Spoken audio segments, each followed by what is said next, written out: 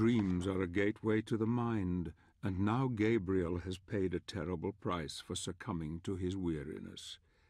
The many sleepless nights since his love was taken from him, the fear of falling into sleep, the nightmares that haunt him have all played their part. Did he murder this poor girl? Or is there some other explanation? Doubt gnaws at him now, eating his very soul.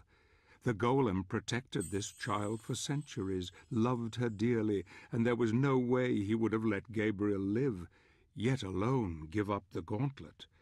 Few men could continue. Most would abandon the quest, but something deep inside forces him ever onwards. A dark force has taken hold, and all creatures of the night will come to fear him now. Buenos dias, mis amigos, hier ist wirklich wieder Fanual und so heute mit der 15. Folge meines Castlevania Lords of Shadow Let's Plays. Heute sind wir im Level die drei Türme und wie wir sehen, haben wir jetzt den dunklen Handschuh in unserem Besitz.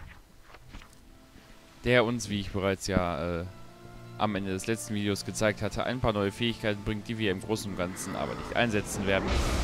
Hier ist eine Ausnahme. Aber was ist das? Das Tor geht nicht auf, obwohl wir die Statue mit Karacho dagegen befördert haben. Das liegt einfach daran, dass äh, der dunkle Handschuh, wie jede Waffe in diesem Spiel, mit, äh, ja, wie jede Fähigkeit eigentlich in diesem Spiel, mit äh, Licht und oder Schattenmagie kombinierbar ist. In diesem Fall ist der dunkle Handschuh nur mit der Schattenmagie äh, kombinierbar. Insofern, dass äh, er nur dann wirklich irgendeinen tollen neuen Effekt hat. Äh, denn mit der Schlottenmagie wird der Anschluss stärker und dann, wenn wir etwas Schlottenmagie haben, die wir hier gleich finden werden, nämlich unten links im Gebiet, nur leider bin ich da gerade zu blöd, um die Schlottenmagie zu finden und renne planlos umher, dann können wir mit aktivierter Schattenmagie den Handschuh einsetzen, um das Tor zu öffnen. Und ja, da gehe ich wirklich noch einmal wieder in diesen Bereich weil ich zu blöd war, um einmal nach unten links zu gehen und diesen dämlichen Brunnen zu finden mit den neutralen Energieswärmen.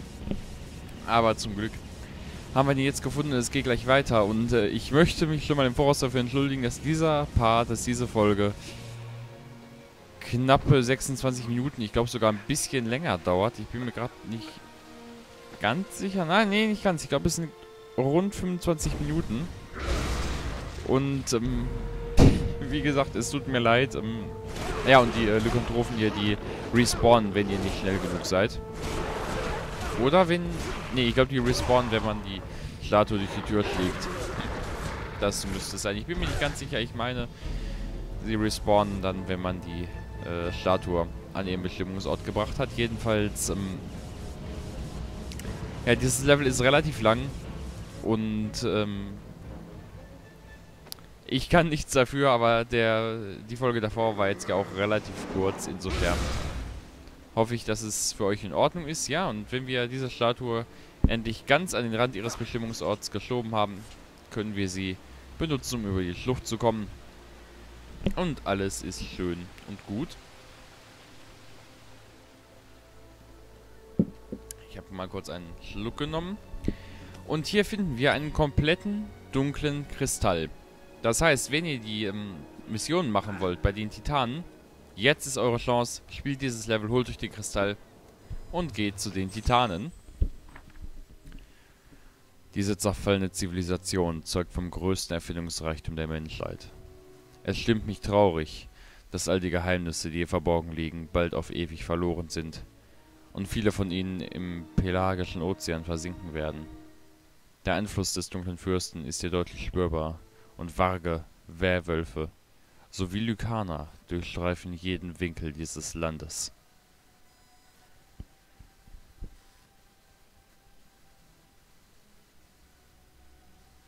Ja. Ich muss mich an diesem Ort flink und lautlos fortbewegen, immer darauf bedacht, nicht entdeckt zu werden. Was den Zauber betrifft, der unsere Welt von den Himmeln getrennt hat, habe ich nichts herausfinden können. Doch eines wird mir immer klarer. Die Fürsten der Schatten müssen sterben.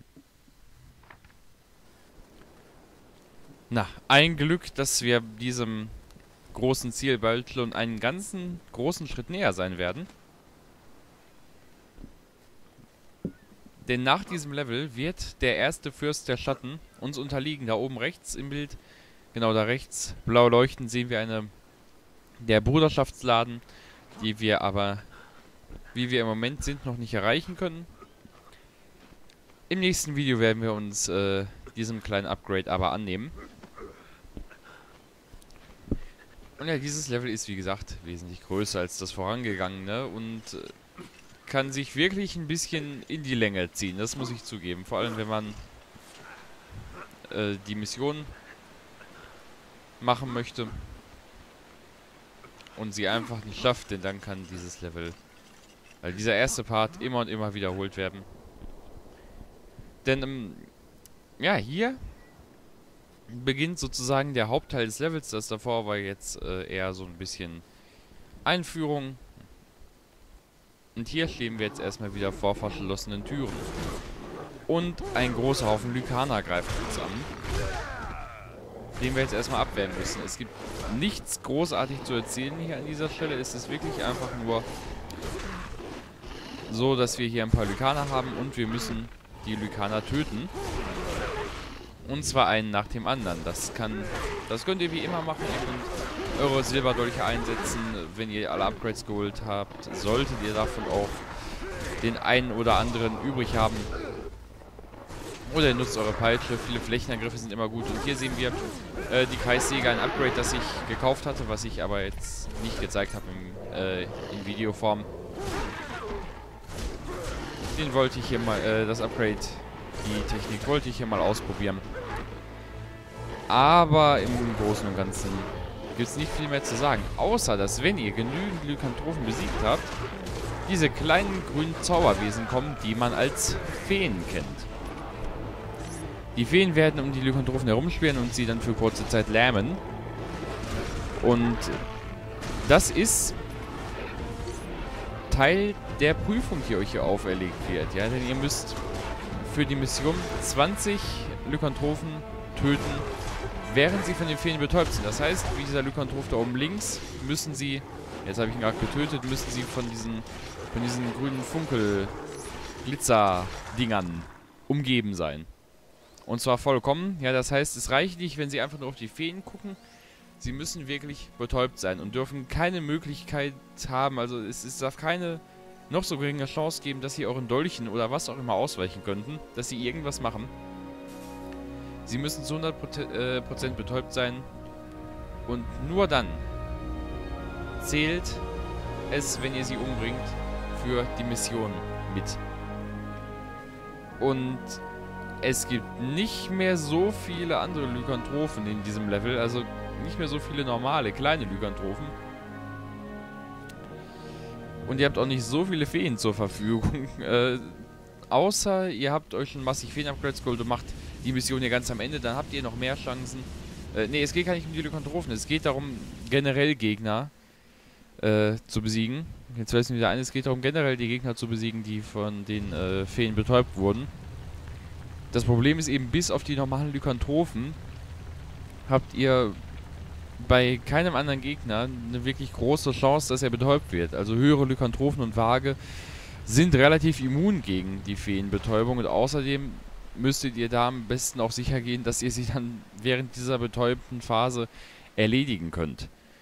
Und das ist leider nicht immer gegeben. Also ich persönlich würde wirklich sagen, schaut, dass ihr jeden einzelnen Kontrophen in dieser Kampfsequenz, die wir eben durchschritten haben, während die Feen einfach von selber kommen und ihr nichts dafür tun müsst, ähm, ja, besiegt in dieser Szene einfach wirklich möglichst alle Lykantrophen, die ihr besiegen könnt. Äh, es sind genau 20, die ihr da besiegen könnt. Ja, das heißt, ihr habt danach die Zahl genau voll. Ähm, ich weiß nicht, wie es bei anderen Spielern ist, ob andere Spieler die Feen, die unsere nächste Zweitwaffe werden, wirklich häufig einsetzen oder so. Ich persönlich tue es nicht. Ich setze die Feen eigentlich niemals ein, außer bei einer einzigen kleinen Mission. Hm um ein Level zu speedrunnen, weil man das missionstechnisch machen muss. Ansonsten, ich, ich setze die Fäden wirklich an sich niemals ein. Ich weiß nicht, ob sie wirklich übermäßig, übermäßig nützlich sein können bei irgendwelchen Gegnern oder was auch immer. Ich finde sie nutzlos und sinnlos und deswegen sind sie nicht meine Waffe der Wahl, muss ich dazu ganz ehrlich sagen.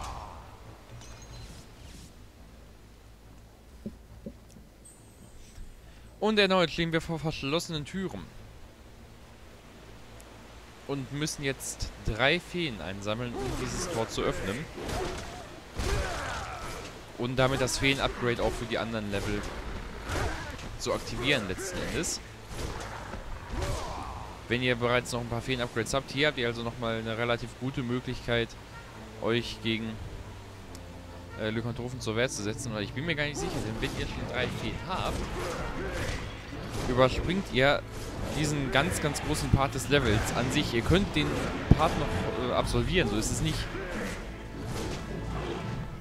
Aber wenn ihr von irgendwoher drei Feen habt, könnt ihr das Level wesentlich schneller abschließen. Aber um im Level weiter voranzukommen, brauchen wir mal wieder einen Wag und müssen deswegen auch mal wieder gegen eins von diesen großen, dicken, fetten Blumenviechern kämpfen, die ich als Reittiere einfach liebe. Denn ich finde die Idee cool, auf einem riesigen Werwolf zu reiten. Ich meine, ganz ehrlich, zerreißt Castlevania Lords of Shadow. Ich meine, alle Leute zerreißen dieses Spiel. Und das meinetwegen auch zu Recht. Und auch dieses Reiten auf Tieren, weil es von God of War geklaut ist. Und das soll alles gerne sein. Ich kenne auch einen, der äh, findet God of War scheiße, weil er meint, dass es kein vernünftiges Spiel ist, sondern, also ich kenne diese Person nicht, aber ich habe es auf YouTube gefunden. Und ja, der meint, es ist einfach nur ein einziges großes ähm, Quicktime-Event letzten Endes dieser Spiel. Also gerade Bosse und so, ne, und, und überhaupt. Und das ist Castlevania Lords of Shadow sicherlich zum großen Teil auch, aber ja, ich habe God of War, wie gesagt, nicht gespielt, aber es gibt eben auch andere Meinungen zu diesem Spiel. Viele Leute finden, dass das Game so endlos geil ist und so super und klasse. Ich persönlich bin auch eher dafür, dass eigentlich die älteren Spiele wirklich teilweise die besseren sind. Die Spiele, die weniger auf ja, auf, auf großartige Superpräsentation und cineastisches Gameplay und sowas gesetzt haben. Ich meine, viele Leute hassen Final Fantasy 13. Ich glaube, ich weiß warum. Obwohl ich auch das wieder nicht gespielt habe, aber einfach, weil es mich von Anfang an weniger interessiert hat. Also gerade japanische Rollenspiele, finde ich, verlieren komplett ihren Reiz langsam, weil sie, weil diese Spiele so dermaßen auf ihre Cutscenes und ihre Story und all das fokussiert sind, aber dabei vergessen, dass der Spieler eben auch eine eigene Gameplay-Erfahrung braucht. Und ich finde zum Beispiel Final Fantasy 1 richtig geil. Ich liebe Final Fantasy 1 nicht, aber ich finde es ist ein cooles Spiel und es ist to date mein Lieblings-Final Fantasy, glaube ich. Von allen Final Fantasies, die ich bisher durch hatte, und es sind wenige, ist Final Fantasy 1 aus der, also aus dieser Hauptreihe das einzige, das ich durch habe, sogar aus, aus wirklich dieser Hauptreihe, also Final Fantasy 1 bis 13 2. Und ähm, einfach, weil dieses Spiel ein vernünftiges Rollenspiel ist. Man kann sich sogar seine Figuren auswählen, man kann sich seine Party selber erstellen, man kann äh, Krieger nehmen mit Schwarzmagier, Weißmagier und äh, Rotmagier oder Dieb oder Kämpfer oder was auch immer. Oder man kann sich vier Krieger nehmen oder vier Weißmagier, wenn man auf Selbstmord steht. Also es ist alles möglich in diesem Spiel letzten Endes. Ähm, es ist ein bisschen konfus, weil es eben ein sehr altes Spiel auch ist. Also rollenspieltechnisch äh, sind die Spiele ja, also ich meine, Rollenspiele sind ja im Verlauf der Zeit eher, ne, eher so ein bisschen simpler geworden, beziehungsweise sagen einem eher genau, wohin man hin muss, äh, wohin man gehen soll. Und alte Rollenspiele, die haben auch mal gesagt, ach ja, hol dir das und das Schwert. Ja, woher? Ja, hol dir das und das Schwert. Brauchst du mehr Informationen? Ja, Pech, ne?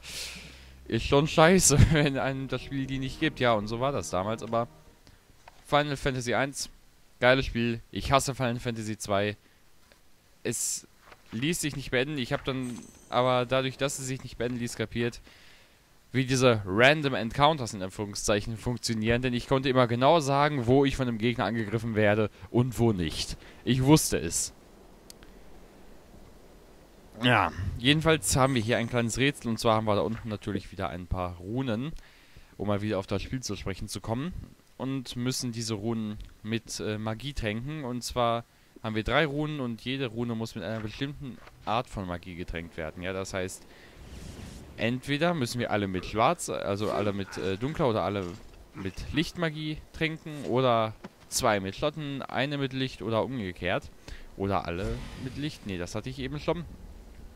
Und dieser Ritter da oben hat uns einfach nur einen kleinen Hinweis gegeben, wie das Ganze auszusehen hat. Und das, was der uns empfohlen hat, führen wir hier auch gerade aus.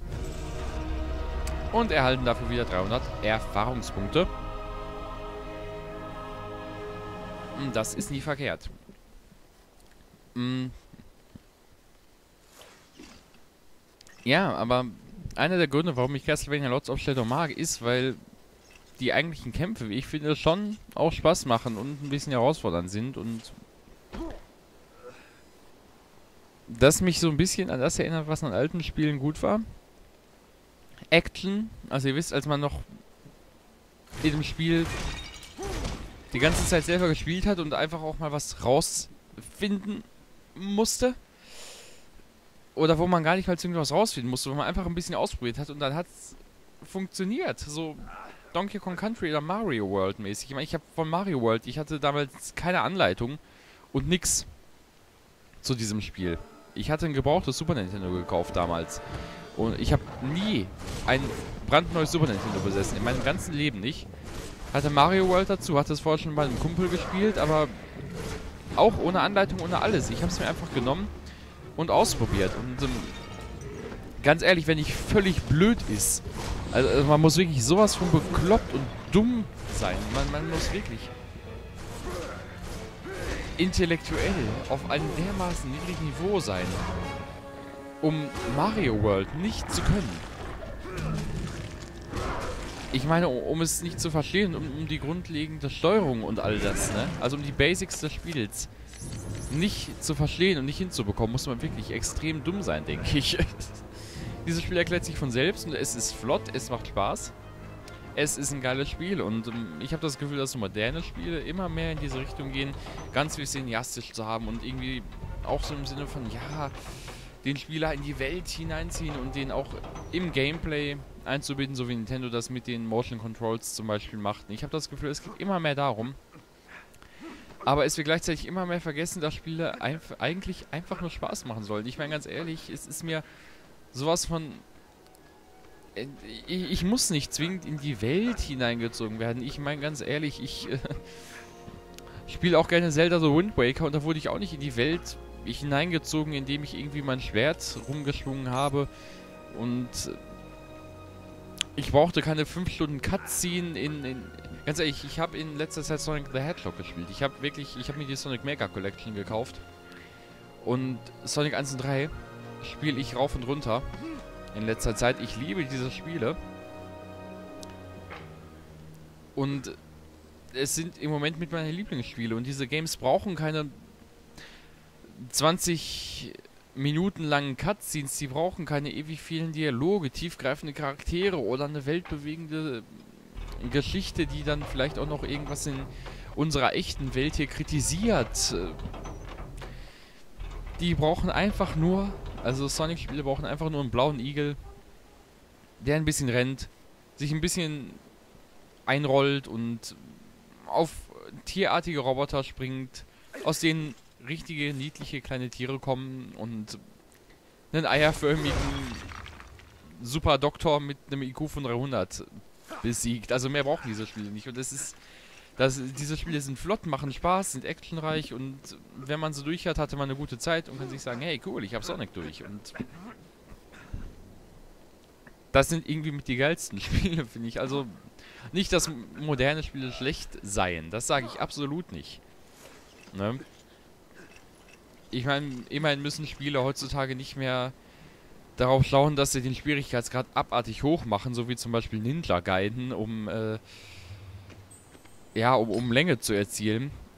Aber ich habe manchmal auch das Gefühl, dass Spiele anders, eben durch Kamera-Views wie hier in Castlevania oder durch was auch immer, das Spiel einfach günstig in die Länge ziehen. Und dann durch sinnlose kleine Minigame-Passagen, die hier und da eingestreut werden. Ich weiß nicht durch was noch alles. Aber back to game. Hier müsst ihr auf jeden Fall nach links klettern, um eine versteckte, nicht Rune hier, um einen versteckten dunklen Magiestein zu finden. Und ich überlege, war schon der letzte? Ja, müsste es, glaube ich, gewesen sein. Bin mir gerade nicht ganz sicher. Ich habe jetzt gar nicht mitgezählt. Ich habe jetzt gerade ein bisschen gelabert. Es tut mir leid. Äh aber manchmal schweife ich so ein bisschen ab und in diesem Level... Es gab im Großen und Ganzen jetzt ja auch nichts zu erzählen. Die gleichen Kämpfe wie schon vorher. Die gleichen Rätsel wie schon vorher. Ich, ganz ehrlich, ich hatte in diesem Part gerade wirklich nicht mehr viel zu sagen. Es tut mir leid. aber das Spiel hat sich an dieser Stelle ein bisschen viel wiederholt. Im nächsten Kampf habe ich wieder ein bisschen mehr zu sagen, beziehungsweise im nächsten Level. Jetzt habe ich mir schon vorgegriffen. Aber wir haben dieses Level jetzt zum Glück gleich hinter uns, denn ganz ehrlich, ich, ich bin jetzt seit 21 Minuten am Labern. Und äh, mir geht echt gerade der Kommentar aus. Ich weiß nicht mehr viel über dieses Level zu sagen. Außer dass jetzt noch ein Kampf kommt. Und dieser Kampf kommt augenblicklich das erste Mal, wenn ihr diese beiden Tore öffnen wollt wenn und nur wenn ihr bereits Feen habt. Und zwar mindestens drei Stück. Wenn ihr keine drei Feen habt, müsst ihr das Level nochmal spielen. Nicht zwingend komplett, aber je nachdem doch komplett. Also ihr wisst, was ich meine. Äh, wenn ihr bereits drei Feen in eurem Inventar habt, kommt dieser Kampf gegen diese drei höheren Lykantrophen sofort. Und glaubt mir, er ist nicht leicht, denn es sind drei höhere Lykantrophen und drei höhere Lykantrophen sind nie einfach zu besiegen. Wenn ihr es euch wirklich einfach machen wollt, nehmt den dunklen Kristall. Glaubt mir, der dunkle Kristall sorgt dafür, dass die drei Viecher augenblicklich weg sind und ihr habt dann keine Probleme mehr damit. Wenn ihr die Titanen besiegen wollt, und zwar äh, als Mission, dann solltet ihr vielleicht hier den den, den dunklen Kristall nicht einsetzen, sondern schauen, dass ihr euch möglichst auf einen äh, Gegner auf einmal konzentriert. Hier habt ihr gesehen, der hat rote Augen, deswegen bin ich gleich zu ihm hin und habe ihn mir vorgeknöpft und ähm, er ist tot, Motherfucker, er ist tot. Und zwei sind immer noch schwer, aber nicht ganz so schwer zu besiegen. Und oh, oh mein Gott, ich habe nichts mehr zu sagen über dieses Level. Es gibt nichts mehr und ich mag dieses Level nicht. Das kann ich vielleicht noch sagen. Ich mag dieses Level nicht wirklich. Ich finde, ich habe schon immer als ein relativ langes Level empfunden. Dieser Kampf nervt mich immer ein bisschen. Ähm, und genau wie die Rätselpassagen und alles. Ich finde, dieses Level ist einfach insgesamt ein bisschen sehr in die Länge gezogen an ein paar Stellen. Und ich finde es jetzt auch ich weiß nicht, es sind drei Türme, okay, das ist cool, aber es ist jetzt nicht so, als hätte jeder dieser drei Türme irgendwie ein eigenes Thema oder eine eigene Charakteristik und insofern finde ich einfach, dass dieses Level ein bisschen langweilig ist. Wir kriegen auch keine, keine Backstory zu diesem Gebäude oder so. Es muss natürlich auch nicht sein, aber ich meine, wenn sowas die drei Türme heißt, wenn ein Level die drei Türme heißt, ach ja, übrigens, ihr kriegt ihr auch dunkle Kristalle, wenn ihr einen von denen besiegt, also solltet ihr vielleicht doch einfach die Kristalle einsetzen und aufs Beste hoffen, dass ihr die gleich wieder aufgefüllt bekommt. Aber zwingend ist das auch nicht notwendig. Und wenn ihr es jetzt noch schafft, nicht so wie ich einfach äh, da rumzuhoppen, sondern tatsächlich die Kante zu greifen kriegt, dann könnt ihr hier durch und könnt das Tor öffnen. Das magische Tor, das sich nur durch Feenzauber öffnen lässt. Aber ganz ehrlich, sterben diese Viecher oder nicht? Sterben die Feen, wenn sie so auf diese Art diese Türen öffnen? Ich habe keine Ahnung. Was ist mit der einen Fee, die uns bei Pans Tempel geholfen hat? Ich weiß es nicht. Dieses Video geht schon viel zu lange. Ihr musstet mich zu lange ertragen. Ich musste dieses Level mit euch zusammen schon so zu lange ertragen. Genau, im nächsten Part, äh, in der 16. Folge, nehmen wir uns dann Cornell vor, den ersten der drei Fürsten der Schatten. Den Fürst der Lykaner werden wir stürzen und danach werden wir auch, glaube ich, nie wieder einen Lykaner sehen. Heiße Hauptsache, es kommen neue Gegner auf uns zu. Ich kann wieder über neue Sachen reden. Endlich, Dankeschön, danke Castlevania, Lords of Shadow, dass du mir endlich neuen Stoff gibst, über den ich reden kann. Jedenfalls, Leute, ich bin Lafa Annual. Wir sehen uns im nächsten Part. Bis dahin.